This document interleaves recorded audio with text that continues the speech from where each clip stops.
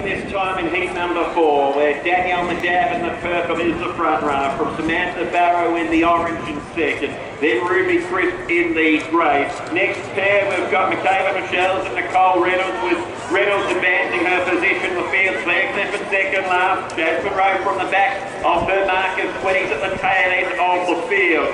Ruby Crisp has struck the front frontier. Run, she's in third, Ruby, because it's still Danielle McDowell. Out in front from By Reynolds, who's further back the field as they make their way towards the home turn. McDowell from the front, leading the way with a margin from Barrow, then Crisp. Reynolds is coming in for nicely, but does have a bit of ground to make up on our leader. It's McDowell out in front. McDowell in the straight, leading the way. Running on his Reynolds. Some chance here, Reynolds. McDowell in front. Reynolds coming quickly. Stuck towards the line. Who's going to get there first? It's tight. Got a couple wrong today. I might stay It's between McDowell and Reynolds. Purple and yellow in heat four.